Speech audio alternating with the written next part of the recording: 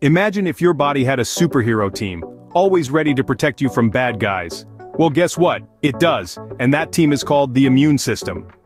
Our bodies are like bustling cities, teeming with life and activity.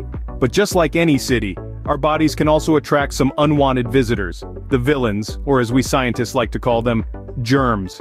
These germs can be bacteria, viruses, fungi, or parasites, and they're always looking for a chance to invade our bodies and cause trouble. But fear not, because our bodies have a team of superheroes, always ready to spring into action and fight off these bad guys. And this team is what we call the immune system. The immune system is our body's defense system.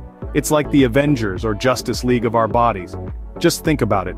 Whenever a germ enters our body, our immune system superheroes rush to the scene, ready to battle and protect us. They use their superpowers to recognize these germs, remember them, and launch an attack to destroy them. And the best part? They do all this without us even knowing it. We might feel a bit under the weather, maybe get a fever or a runny nose, but that's just a sign that our immune system superheroes are hard at work, fighting off the germs and keeping us safe.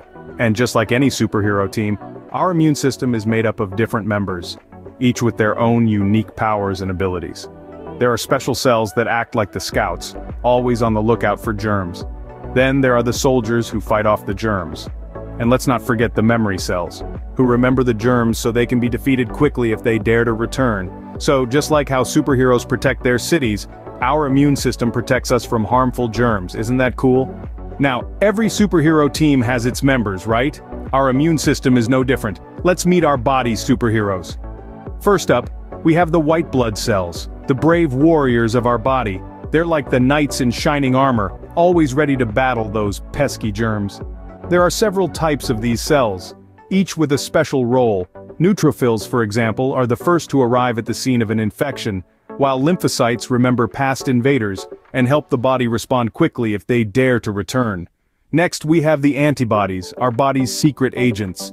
These guys are like tiny detectives always on the lookout for harmful invaders. When they spot one, they stick to it like glue, marking it for destruction. They're our body's way of saying, you're not welcome here, germs.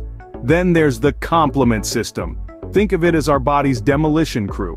When activated it punches holes in the walls of bacteria and viruses causing them to burst. Boom, no more invaders. And let's not forget the spleen and lymph nodes. They're like the command centers of our immune system. They help coordinate the attack, ensuring that our body's superheroes are always one step ahead of the germs. The bone marrow and thymus are our superhero training facilities. This is where our white blood cells grow up and learn how to fight off infections. It's like a superhero school but for our cells. Finally, we have the skin and mucous membranes, the unsung heroes of our immune system. They act like the body's fortress walls, preventing germs from even entering our bodies. They're our first line of defense against harmful invaders. Our body's superhero team sure is amazing, isn't it? But remember, every superhero has their unique power and so does each part of our immune system. Just like superheroes need training to use their powers effectively, our immune system needs training too. This training comes in two forms, innate and acquired immunity. Imagine our immune system as a superhero training camp. First we have the innate immunity squad. These are the superheroes born with special powers. From the moment we're born, they're ready to fight. They're our body's first line of defense, like the sturdy walls of a fortress, protecting us from the uninvited invaders also known as germs. They're quick, they're tough, and they don't need any training to get started. But they're a bit like a one-size-fits-all suit. They treat all germs the same way.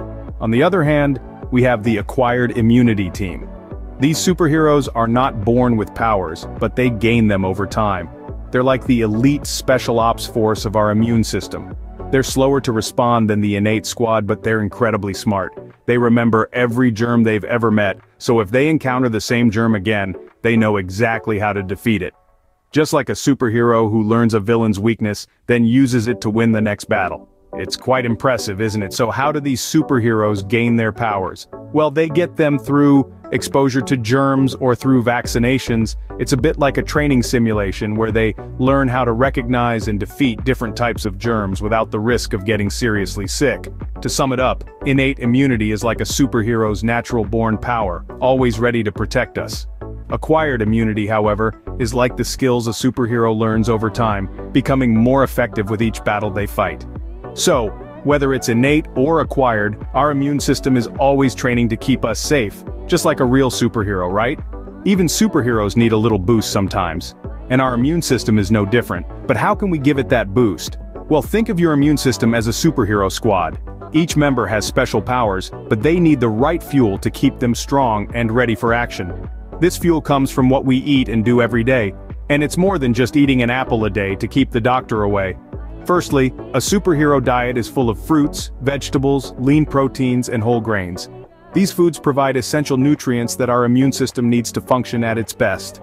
Fruits and vegetables are like the ultimate power-up, packed with vitamins and minerals that help our immune system fight off bad guys, also known as germs. Secondly, exercise is like the training montage for our immune system superheroes.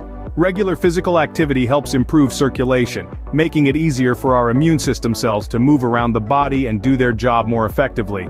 But even superheroes need rest, that's where sleep comes in.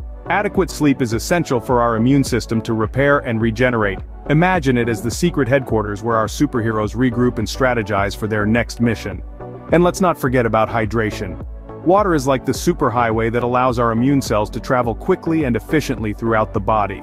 So keep sipping that H2O. Lastly, managing stress is key. When we're stressed, our body produces a hormone called cortisol, which can suppress our immune system.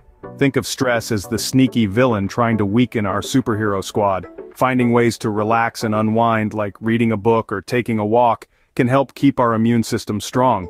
By taking care of our bodies we're not just helping ourselves, but we're also helping our body's superhero team be the best it can be. Okay, time to see how much you remember about our body's superhero team. Let's rewind a bit. We've learned that our immune system is like a superhero team living inside us, always ready to defend against harmful invaders. The team is made up of various parts, including our skin, white blood cells, lymphatic system, spleen and bone marrow, each playing a crucial role in protecting our body. We've also discovered that our immune system has two types of immunity, innate and acquired. Innate immunity is our body's first line of defense. It's like the superhero who's always on guard duty, protecting us from all sorts of invaders.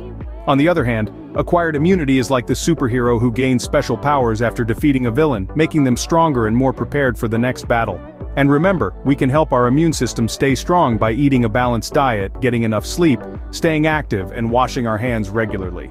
Just like how superheroes need to train and rest, our immune system needs us to take care of our body to perform at its best. Now let's see if you've been paying attention with a quick quiz. Question 1. What are the two types of immunity our body has? Question 2. Name one part of the immune system and its function. And finally question 3. How can we help strengthen our immune system?